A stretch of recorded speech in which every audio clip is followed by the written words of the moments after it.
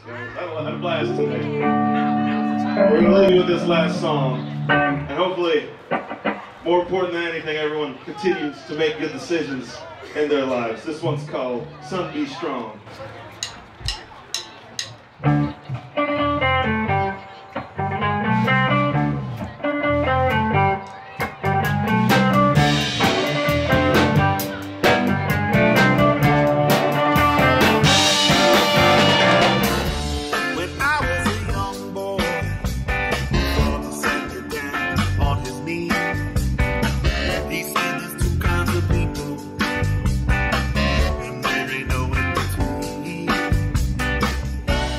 Welcome to the 50th annual Raymond James Gasparilla Festival of the Arts in our new location at Julian B. Lane Riverfront Park. I'm John Shuffle. I'm the president of the board of directors. In reviewing past years, we discovered a small percentage of our artists were local. So we took on an initiative this year to increase the number of local artists because we feel that's important for the Tampa Bay community. I'm Sanjay Malik. I'm part of the local artist spotlight. We use layers of silk embedded in acrylic to create our art. It takes a long time, it's very labor intensive. During the day, if you look at the painting, they look like met- metallic paintings. And in the evening, with backlighting, they look like glass. My name is Alan Boatwright, and I am here in the local artist spotlight. My artwork looks like robots. You look and you see robots, and for some people, that's enough. But my art is very subjective, but it also is very meaningful. So there's hidden things on the painting. Times getting tougher, less and less space on the hill. I am Erin Conley. I am a co chair for the Gasparilla Festival of the Arts. I grew up going to art festivals as a kid, and to be a part of this festival has been very meaningful to me. And I really find the art community fascinating, so I love really being part of this as a co chair. My name is Marlena Rose, and I've been involved on and off with the festival for about 10 years. My artwork is sand cast glass. So, what that is, is I basically pour molten 2000 degree glass into a sand mold. The technique where I pour the molten glass into sand sticks to the artwork, which gives it this ancient quality. One of the many reasons why I love doing this show is that I am a local artist. I have a gallery in downtown Clearwater, so this is a way for me to get out and let the people of Tampa Bay know that I exist and I'm in Clearwater. My name is Jennifer Kozlowski. I'm one of the co-chairs for the 2020 festival. Julian B. Lane Park is so beautiful in itself that to showcase the work in this setting just makes the art look that much better.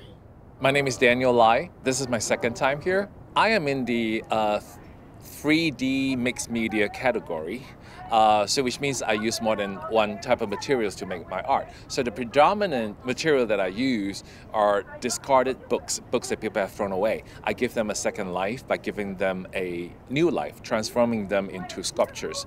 And then the second medium I use is clay. I make these clay figures that inhabits in this sculptural environment that is made out of books. I'm Jeff Eckert. I've been in Tampa Bay now about 24 years, and my medium is pencil drawings. For my medium, which might differentiate me from other pencil drawing artists, I work in photorealism. Being a local artist, uh, a couple things that are terrific about that. The first thing is um, the expense of not having to travel, and uh, the second reason it's so terrific is you do build a following. You have your people that come back every year, and they will look for your booth space or look your look your name up on the map.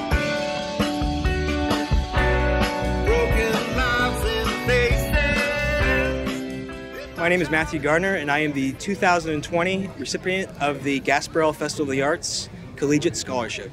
I'm very honored and very grateful to be a recipient of the award. I'm a local artist, and it is important to me because I paint people that have a unique relationship to Florida, especially to the Tampa area. I'm Lisa Hatcher, and I'm a surrealist, and I do um, narrative work primarily, and I'm a photographer. Being a local artist, it's really amazing to have Gasparilla in my backyard. Um, what it does for me is when I'm able to put information out for people, they can come in and see me right in my backyard, and if I have to bring something in or deliver something, it's local to me. My name is Patrick Dragon, and um, I'm a ceramic artist in the area. I'm in Lakeland. I find it kind of interesting that I've been making pots for 40 years, and I'm still excited about doing it. I have a lot of friends locally that do the show, so it's fun to have that circle of friends that are here and we get together and compare notes.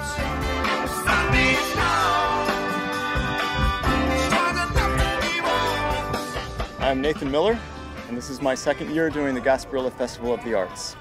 I'm an acrylic painter, and I paint people and animals. Sometimes I paint them both together, and it's very detailed realism. It takes a lot of time. I'm a local artist uh, from St. Pete, so Tampa is super close. It's only a 30 minute drive. It's good to get my art out there in the local community, and I'm hoping that more and more people will discover what I do. My name's John Williams, and I'm a, a wood turner here in Tampa, Florida. The one thing that I do that is very unique, I coat everything with a two-part marine grade epoxy. And my vases are coated inside and out so that you could actually put water and flowers in them. So it's kind of functional art. And then I also make wood sinks, and uh, which is very unusual. I am a local wood turner, and uh, it's, it's just great to be in the Gasparilla because I meet a lot of local people and they see my work and they get excited. I guess a couple things come out of it. Sometimes I sell some work because of it, but sometimes people are taking down trees, which I need, and they'll have me come out to get their trees. My name is Megan Farrell Scalise, and my painting this year was selected for Festival Image. My medium of choice is painting. I use acrylics and oils. My painting, the artwork behind it is based on leaving your everyday work week behind and uh, jumping into the colorful world of Gasparilla.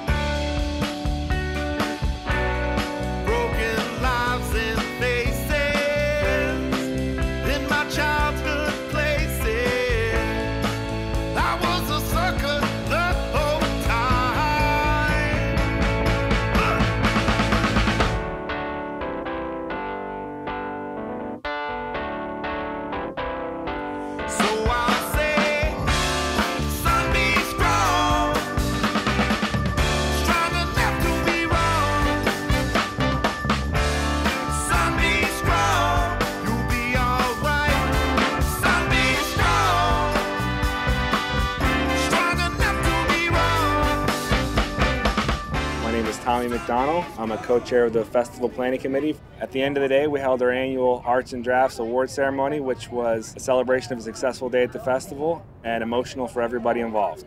My name is Paul Galloway. I'm the Architecture and Design Collection Specialist for the Museum of Modern Art in New York City. Any festival that makes a, a great interest and uh, kind of push to incorporate the local art scene is going to be seeding itself for a great success. I have to say, I've, I've been extremely impressed uh, with what I've seen here in Tampa. I'm Dennis Peterson. My medium is wood. I'm new to the festival. This is my first year, and I won Best of Show. When they called my name for Best of Show, I thought they made a mistake. My wife said, "For uh, Dennis, you've been doing this for 30 years. It's about time."